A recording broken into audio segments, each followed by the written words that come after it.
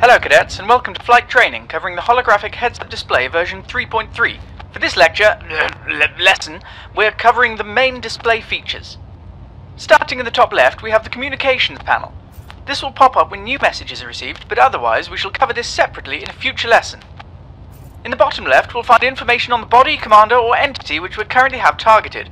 If this is a vessel, we'll be given the details for that commander and ship, including names, faction association, current ranking, wing numbers, distance, and a warning if they're a mission target or have an active bounty. We also get a hollow display of this ship, plus shielding and hull information. If targeting another station or system, we'll get some basic information here with the name and distance. As well as this, the nav ball just here will tell us their current bearing, with a solid circle being in front and a hollow circle being behind. If locked to a station, you'll also get some indication of the whereabouts of the entry and exit path. At all times, we'll have an indicator of our current position. In the top right, we'll have the information panel. This will give the current ship's name plus the current galactic time if you have it turned on. This area lists pertinent information such as current contact changes, bounties and fines both against and earned, and signal sources.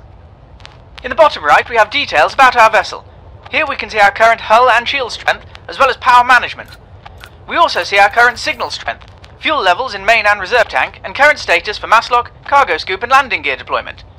We will also see warnings here such as criminal activity, silent running, and criminal passengers or cargo. In the center of the panel, we have a lot of information.